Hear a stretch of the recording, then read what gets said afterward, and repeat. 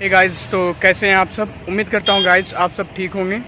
तो आज ये हमारा गुजरात में पहला दिन था। जो पहला दिन है वो पूरा ख़राब होता हुआ नज़र आ रहा है। अभी वक्त हो रहा है दो बज के तीन मिनट के आसपास हो रहे हैं। और आज का मौसम इतना ज़्यादा ख़राब है कि सुबह से बारिश हो रही थी। वो भी धीरे धीरे, एकदम धीरे धीरे बारिश हो रही है और रुक नहीं रही है। तो इसीलिए मैं कहीं जा नहीं पाया हूँ।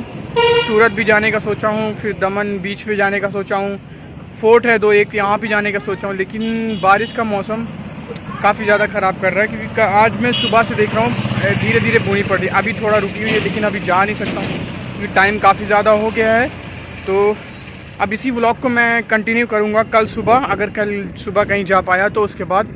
और एक चीज़ और बता दूँ मैं कि यहाँ पे मेरे को तीन दिन रुकना है, लगभग एक अक्टूबर तक का टाइम है।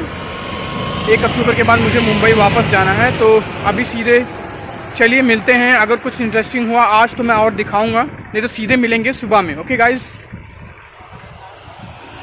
तो गाइस अभी बच चुके हैं चार, लेकिन जो बूदाबादी है, वो अभी तक ख़त्म नहीं हुई है। अभी भी हो रही है तो आज का दिन पूरा ख़राब हो गया। तो अभी हम निकल चुके हैं उमर गाँव की एक फ़िश मार्केट है, जहाँ पे बहुत सारी तरीके की छोटी बड़ी मछलियाँ मिलती हैं। तो वो हम चलते हैं, वहाँ पे हमें मछली भी लेनी है और आपको दिखाएँगे भी मछलियाँ कैसी हैं। तो हम लोग पहुँच चुके हैं उमर गाँव की यहाँ फ़िश पे, जो उमर गाँव की जो बीच है, वहाँ से लगभग एक से डेढ़ किलोमीटर दूर है। आप यहाँ पे आ भी सकते हैं विभिन्न विभिन्न तरीके की यहाँ पे मछलियाँ हैं। मुझे नाम भी नहीं याद है, अगर आपको देख के याद आता हो तो आप लोग ज़रूर याद कर लेना और प्राइस भी काफ़ी ज़्यादा प्राइस है वैसे इस हिसाब से देखें। लेकिन हमें भी लेनी थी कुछ तो इसलिए हम भी आ गए थे। तो यहाँ से हम कुछ मछली लेंगे, लगभग एक किलो मछली लेनी है। तो हम इसके लिए आए थे तो आप देख सकते हैं, बड़ी, छोटी, जितनी भी मछलियाँ हैं, सब तरीके की मछलियाँ यहाँ पे अवेलेबल हैं मतलब आप ले सकते हैं। तो चलिए, हम यहाँ पे कुछ मछली लेंगे, उसके बाद यहाँ से हम निकलेंगे वापस गैरेज पे, फिर गैरेज से हम वापी अपने घर पे जाएँगे गाइज़ तो गाइस हम फ़िश मार्केट से वापस आ चुके हैं गैरेज पे। ये पीछे आप गैरेज देख सकते हैं। और इसके बाद अभी हम हैं गाइस उमर गाँव में। हम तकरीबन यहाँ आए थे लगभग दस, साढ़े दस के आसपास। तो अभी हो रहा है छः बज के सत्ताईस मिनट। अब यहाँ से हमें निकलेंगे वापी के लिए। यहाँ से लगभग वापी तैंतीस किलोमीटर दूर है। तो अभी अंधेरा होता हुआ न हो रहा है। तो अभी हम सीधे यहाँ से घर जाएँगे। और फिर मिलते हैं आपको घर पर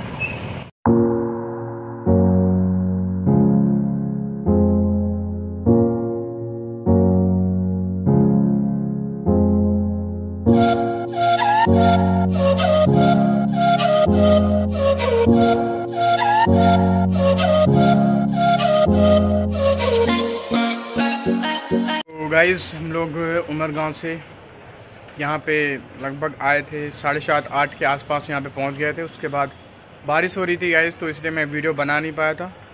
और उसके बाद ऊपर गए, घर पे गए, उसके बाद हम लोग ने हाथ पैर धुला। तो हाथ पैर धुलने के बाद नौ, साढ़े नौ बज गए, उसके बाद खाना वाना खा के बस यही ऊपर आया नीचे आया था थोड़ा राउंड अप करने के लिए। ज़रूरत तो जीरा मसाला पी लूँ ताकि खाना जो है वो पच जाए, क्योंकि यहाँ पे जो खाना खाते हैं, वो काफ़ी जल्दी खाते हैं। जैसे कि हम लोग मुंबई में साढ़े ग्यारह, बारह बजे से पहले खाना नहीं खाते। और भी एक इंटरेस्टिंग बात है गाइस कि यहाँ पे जो दुकानें हैं गाइस वो दस, साढ़े दस बजे के आसपास, दस बजे यहाँ का लास्ट टाइम है, सारी दुकानें बंद हो जाती हैं।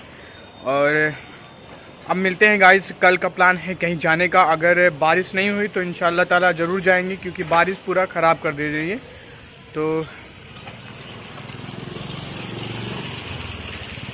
तो चलिए अब मिलते हैं सीधा कल। अगर ये गाइस ब्लॉग आपको पसंद आया होगा तो लाइक कीजिएगा शेयर कीजिएगा और चैनल पे पहली बार आए हैं तो प्लीज़ चैनल को सब्सक्राइब ज़रूर कीजिएगा। अब मैं घर पे चलता हूँ, थोड़ा दूरी पे है घर, बारिश रुक गई है। तो चलिए निकलते हैं, मिलते हैं कल गाइस ओके गुड बाय